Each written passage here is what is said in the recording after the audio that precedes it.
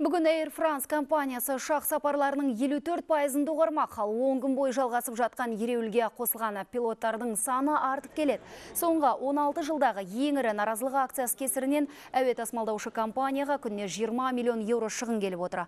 Айта кетсек, пилоттар өздерін компания филиалы Трансавиаға ауыстыру жоспарына наразы.